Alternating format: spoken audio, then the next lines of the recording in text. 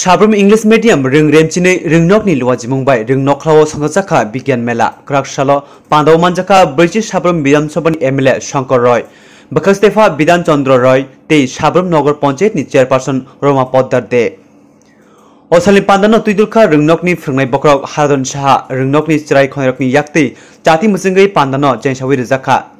কংগ্রাথানি MLA সাকা অ রংনকনি বিশিংতে বিসঙ্গ গবাংমা sour গনাং ফয়নাই, তে আ সুয়ারনো ফুয়ারথানি कुसुक्ति साथानि नांमानि सेबसाब चुबासु रनाय हनै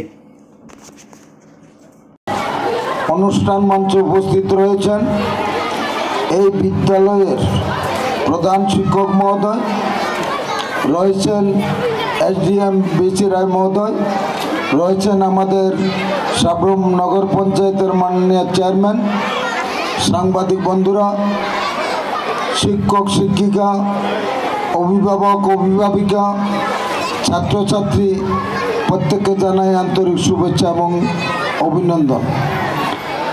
তো আজকে আমি এখানে ভাষণের ব্যাপার না, দু চারটি শুধু কথা বলব।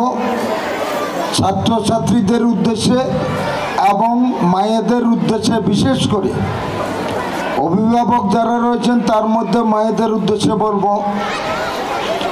আজকের দিনে এই যে স্কুলে যে ছেলেমেয়েরা রয়েছে ইংলিশ মিডিয়ামের ছাত্রছাত্রী, ঠিক। কিন্তু এই স্কুলে যারা রয়েছে ছাত্রছাত্রী ইংলিশ মিডিয়ামের ছাত্রছাত্রী মানে আমার প্রাণ। আমি সব সময় ভাবি, এদের নিয়ে এবং ইংলিশ মিডিয়াম নিয়ে। আমি যখন আসলাম, তখন বলল ইংলিশ মিডিয়ামের কথা তা না। আজকে এই দিনে যারা মায়েরা রয়েছেন অভিভাবকরা রয়েছেন, আমরা জানি আমাদের এই এলাকা অনেক পিছিয়ে পড়ার জায়গা। গরিব এলাকা, মায়েদের, বাবাদের ইচ্ছা থাকল, আগামী দিনে আমরা ছেলে মেয়েদের জন্য তেমন কিছু করতে পারি। তার প্রথম কারণ হলো আর্থিক কারণ। এবং সেরকম পরিকাঠামো ছিল না।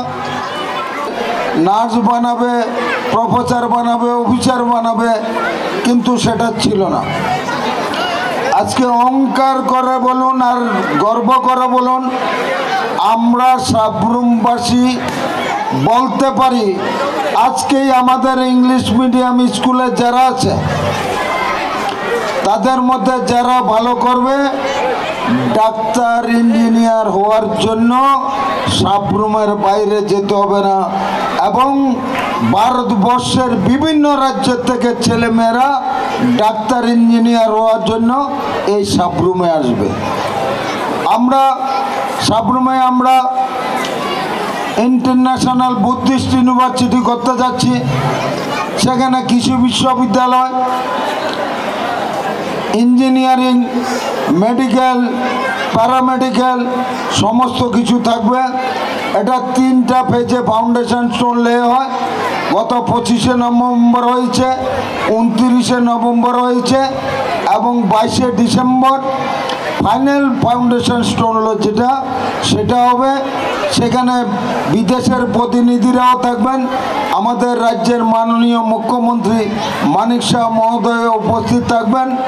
আগামী বাইশে ডিসেম্বর বেলা দু কোটি কাছে অনুষ্ঠান শুরু হবে।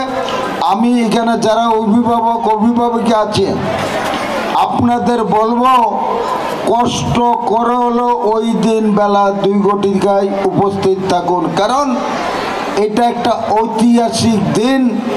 আজীবন বলতে পারবেন, এই যে বিশাল কিছু হতে যাচ্ছে বা হয়েছে, আমি সেদিন ফাইনাল ফাউন্ডেশন স্টোনেন, যেদিন লেইং হয়েছে, আমি সেখানে উপস্থিত ছিলাম।